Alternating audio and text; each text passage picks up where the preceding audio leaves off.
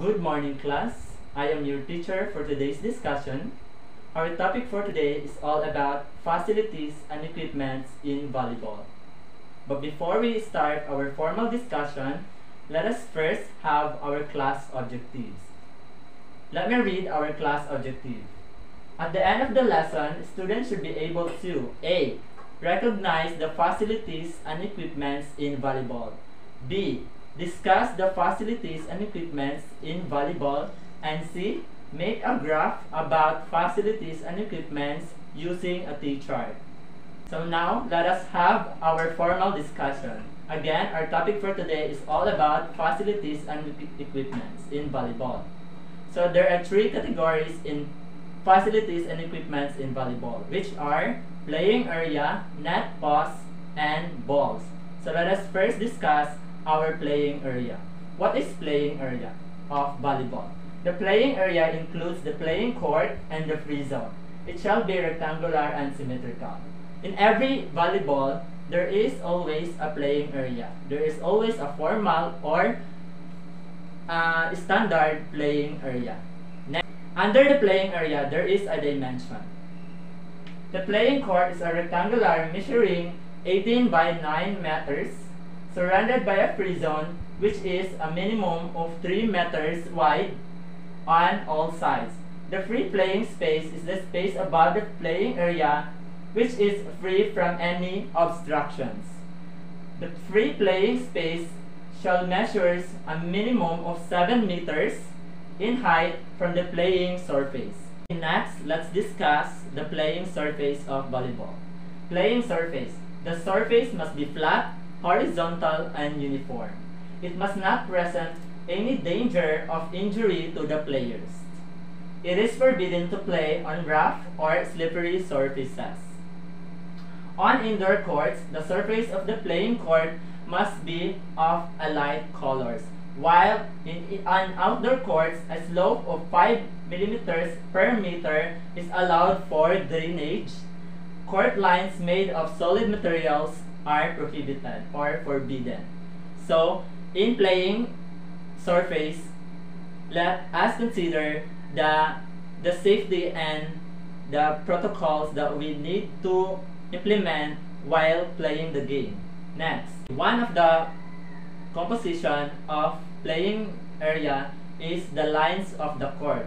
So all lines are 5 centimeter wide. They must be of a light color which is different from the color of the floor and from any other lines. So the line of the court must be separate from any other co- color of a line to avoid confusion. Under the line of the court is the boundary lines. Two lines and two end lines mark the playing court. Both side lines and end lines are drawn inside the dimension of the playing court. Next is the center line. The axis of the center line divides the playing court into two equal courts measuring 9 by 9 meters each. However, the interline width of the line is considered to belong to both courts equally. This line extends beneath the net and from sideline to sideline. The last line is attack line. On each court, an attack line whose rear edge is drawn 3 meters back from the axis of the center line marks the front zone. So that is the attack line. So our zones and areas. First, let's have the front zones. On each court, the front zone is limited by the axis of the center line and the rear edge of the attack line. The front zone is considered to extend beyond the side lines to the end of the free zone. Next, the service zone. The service zone is a 9 meters wide area behind each end line. It is laterally limited by two short lines. Each 15 centimeters long, drawn 20 centimeters behind the end lines as an extension of the side lines. Both short lines are included in the width of the services zone. In depth, the service zone extends to the end of the free zone. Next, the substitution zone. The substitution zone is limited by the extension of both attack lines up to the scorer's table. So next is the libero replacement zone. The libero replacement zone is part of the free zone on the side of the team benches, limited by the extension of the, the attack line up to the end line. Next area is warm-up area. The warm-up areas, size approximately 3 by 3 meters, are located in both of the bench side corners outside this free zone. Next is the penalty area. A penalty area size approximately 1 by 1 meter and equipped with two chairs. It's located in the control area outside the pro prolongation of each end line. They must be limited by a 5 centimeter wide red line. Let's move on to the another facilities and equipment in volleyball which is the net and post. So, first topic is the height of the net. Placed vertically over the center line, there is a net whose top is set at the height of 2.43 meters for men and 2.24 meters for women. Its height is measured from the center of the playing court.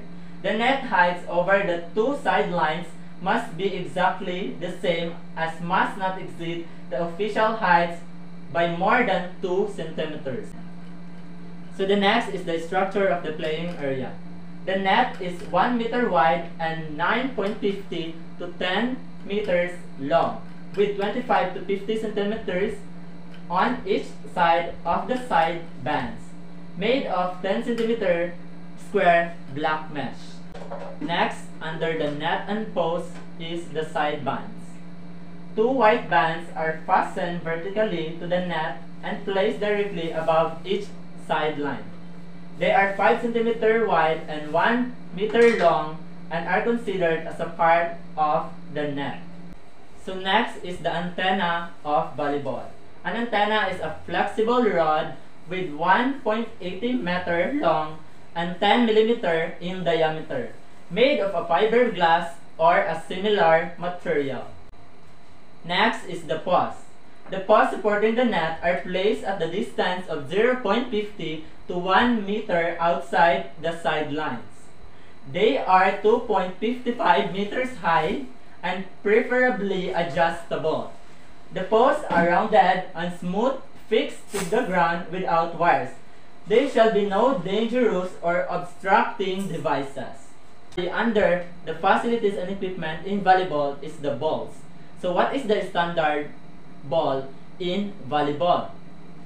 The ball shall, shall be spherical, made of a flexible leather or synthetic leather case with a bladder inside, made of rubber or a similar material. Its color may be a uniform light color or a combination of color. The last topic is the uniformity of a ball. What is uniformity of the ball? Uniformity of the ball, all balls used in the match must have the same standards regarding circumference, weight, pressure, types, color, or etc. That's all for today's discussion. Did you understand about facilities and equipments in volleyball class? Do you have any questions from our discussions? Okay, good. Now, let's proceed to our activity.